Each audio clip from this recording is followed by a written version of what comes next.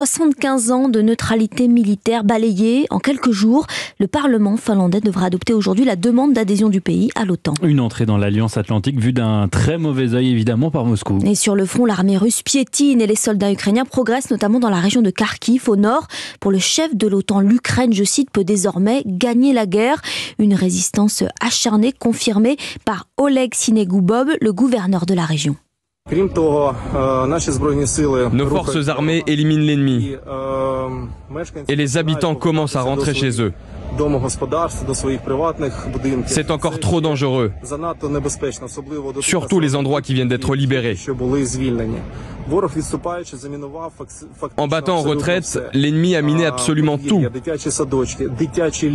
Les jardins d'enfants, les bois, le bord de la route et même des lits de camp. Des travaux de déminage sont en cours maintenant. C'est un travail très minutieux, cela prend du temps.